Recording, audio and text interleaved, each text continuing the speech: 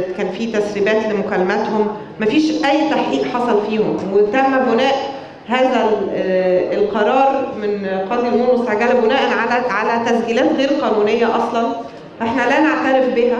واصلا لا نعترف بهذا الحكم إن إحنا عمرنا ما كنا بنعتمد على الأحكام في خلال الثلاث سنين اللي فاتت في أي من أمور الثورة. 6 أبريل ده مش مش جمعية خيرية هنقفلها ولا شركة.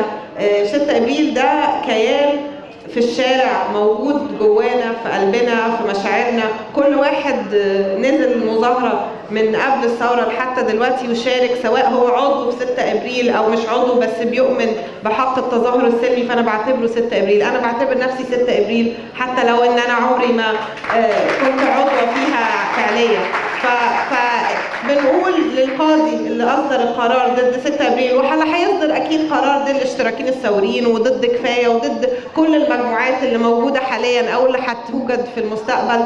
إحنا لا نعترف بكم وسنظل نناضل ضد قانون التظاهر اللي هو حق وليس فوضى. التظاهر حق وليس فوضى.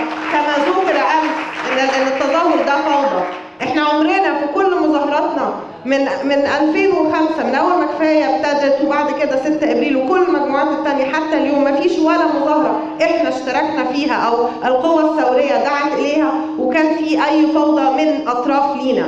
فاللي بيدعي إن إحنا بنخلق الفوضى يجي يثبت لنا ده.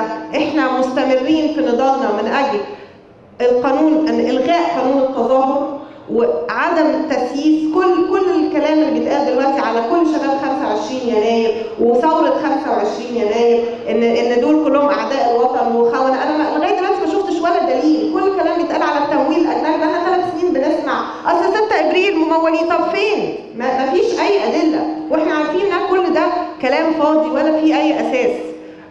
فهم مش هيقدروا حتى لو سجنونا واعتقلونا مش هيقدروا يقتلوا الفكر اللي فينا ولا النضال ولا الحلم. وإحنا مستمرين. وزي ما علاء قال دولة العواجيز إلى الزوال وإحنا الشباب القادمون